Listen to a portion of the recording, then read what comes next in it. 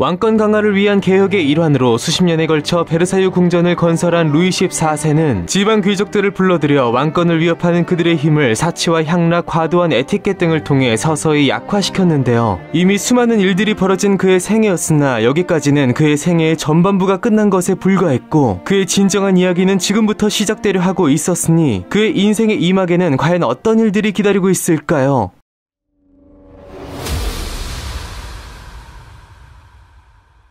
루이 14세의 치세는 그가 베르사유에 정착한 1682년 혹은 그의 신복 제무상 콜베르가 사망한 1683년을 기점으로 크게 양분되니 앞선 시기에서 그가 비교적 승승장구하면서 뛰어난 인재들의 조력하 국가를 안정시키고 프랑스의 영광을 드높였다면 뒤의 시기에서는 그릇된 정책과 무리한 대외 전쟁으로 강대국 프랑스의 균열을 그 뿌리부터 서서히 일으키게 됩니다. 1680년대 루이 14세가 40대 중반에 들어섰을 때쯤 어린 날의 시련을 걸음삼아 강한 왕권, 강한 국가를 세우겠다는 그의 열망은 자부심을 넘어 오만함으로 점차 변질되어 갔고 대내외 정책에 있어 실리보다는 이념에 편중되는 무리스러운 행보를 보이게 되는데요. 스스로의 쾌락과 더불어 귀족들을 그의 발 아래 붙잡아두기 위한 베르사유의 화려한 행사들을 밤낮으로 치르는 속에 만성적인 두통과 치통, 소화불량에 시달리며 그의 건강은 일찌감치 악화되어 갔는데요. 특히 그의 오른팔 콜베르가 사망하기 3개월 전 스페인과의 평화를 상징한 왕비 마리테레즈가 사망하면서 루이 14세를 제어할 수 있는 조력자는 더 이상 그의 곁에 남지 않았고 이후 그의 주변에는 그의 권력을 중심으로 점차 파벌의 성격을 띤 각기 다른 무리들이 형성되어 갔는데요. 이 무리들을 대표하는 인물들은 바로 국왕이 깊은 총애를 받았던 정부 맹트농 후작 부인, 죽은 마리테레즈가 남기고 간 차기 권력인 왕세자 루이 일명 그랑도팽, 그리고 차차기 권력인 Grand Dauphin의 아들인 왕세손 루이 일명 Petit Dauphin이었습니다. 이중 정부인 맹트농 부인은 젊은 날 일찍이 남편을 여읜 뒤 국왕의 또 다른 정부 몽테스팡 부인이 낳은 서자들의 가정교사가 되었다가 루이 14세의 총애를 받고 후작 부인의 지위를 하사받게 된 것인데요. 루이에게 있어 잠재적 권력자이자 도전자인 아들 손자와 달리 경계할 필요가 없었던 맹트농은 루이의 든든한 정신적 안식처가 되었고 나아가 그녀가 국정에까지 손을 뻗치게 하는 상황을 만들어 버렸는데요. 급기야 그는 독실한 카톨릭 신자였던 맹트농의 영향을 받아 국가의 운명을 거스르는 중대 대한 폭탄 선언을 하였으니 그것은 바로 그의 조부 앙리 4세가 위그노들의 종교적 정치적 권리를 보장하고 모든 국민에게 개인의 종교의 자유를 보장하였던 낭트 칙령을 폐지하는 풍텐블로 칙령을 선포한 것이었습니다. 선왕 루이 13세와 리슐리의 경우 위그노들의 과도한 특권을 경계했기에 그들의 힘을 약화시키려 했으나 종교의 자유만은 철저히 보장했던 반면 루이 14세의 경우 그야말로 프랑스 내 개신교 활동을 불법으로 규정하고 개신교도들에게 개종하거나 그게 아니면 아예 국가를 떠날 것을 강요하는 일종의 종교 탄압을 가한 것인데요. 그는 온 국민이 하나의 국가 하나의 왕 아래서 하나의 종교를 믿는 것이 진정으로 국가가 통합되는 길이라 생각했지만 이것은 그의 과도한 정치적 욕망의 산물에 불과했고 통합은커녕 분열을 자초하게 됩니다.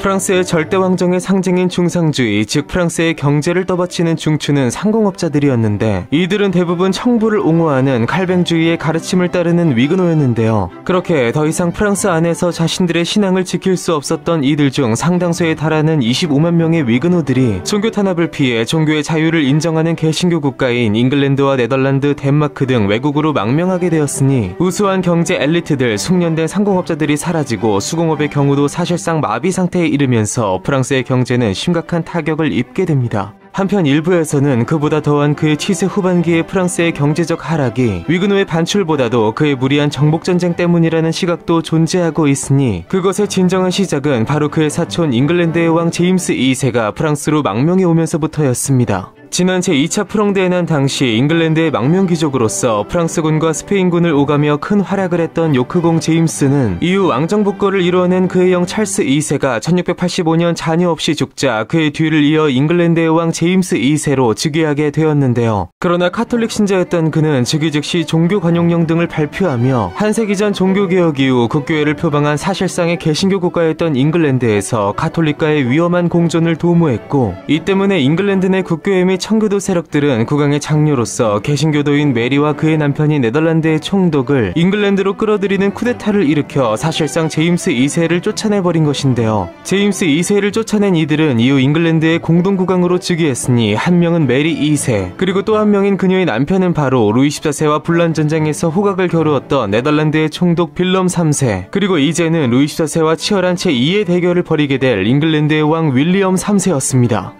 한편 루이 14세는 프랑스로 망명해온 그의 사촌 제임스 2세를 기쁘게 맞아주었고 카톨릭 신자인 그를 진정한 잉글랜드의 왕으로 인정해주는 한편 프랑스 내 그의 망명 정부를 세우게 해주었는데요. 제임스 2세를 이용해 잠재적 라이벌인 잉글랜드의 전복을 도모한 루이는 잉글랜드에 저항하는 카톨릭 지역인 아일랜드와 연합해 제임스 2세의 재기를 도모했으나 2년 가까이의 치열한 전투 끝에 1690년 보인강 전투에서 윌리엄 3세가 이끄는 잉글랜드 네덜란드 연합군에게 대패하면서 그들의 계획은 결국 실패하게 됩니다. 분을 이기지 못한 루이 14세는 이후 눈을 돌려 신성 로마 제국이 오스만 제국과의 전쟁 중인 틈을 타 독일 팔츠 지방에 대한 계승권을 주장하며 전쟁을 개시했고 여기에 그의 천적인 윌리엄 3세는 루이의 야망을 저지하기 위해 신성 로마 제국, 잉글랜드, 네덜란드, 스페인, 포르투갈, 스웨덴, 사보이 공국이 참여하는 대동맹을 결성하여 프랑스에 대항했는데요. 그렇게 이후 무려 9년간 진행된 이 전쟁은 9년 전쟁, 팔츠 계승 전쟁 혹은 아우크스부르크 동맹 전쟁 등 다양한 이름으로 불리게 됩니다. 최강대국인 프랑스는 대동맹군과 기꺼이 자웅을 겨루었으나 유럽의 모든 국가를 적으로 돌린 이 무리한 전쟁은 과도한 군사비 지출을 불러오면서 프랑스 경제에 치명상을 입혔는데요. 그렇게 결국 궁지에 몰린 프랑스의 요청으로 1697년 라이스베이크 강화 조약이 체결되었으니 윌리엄 3세를 잉글랜드의 왕으로 공식적으로 인정한 루이 14세는 더 이상 제임스 2세를 지원하지 않을 것을 약속하게 됩니다. 이로써 잉글랜드와 프랑스의 분쟁이 일단락되는 듯 했으나 떠오르는 영국과 추락하는 프랑스의 대결은 이제 사실 시작된 것에 불과했는데요. 두 국가는 향후 주변국들과 연계하며 유럽의 국경 분쟁과 왕위 계승, 그 외 북아메리카와 동남아시아, 아프리카 등 해외 식민지 쟁탈, 미국 독립전쟁과 프랑스 대혁명, 나폴레옹 전쟁 등을 배경으로 긴 전쟁을 벌이게 되니 잔다르크의 활약으로 종식된 지난 중세의 백년 전쟁을 넘어서는 이 세기의 대결은 19세기 영국의 역사학자 존 실리에 의해 제2차 백년 전쟁으로 명명되게 됩니다.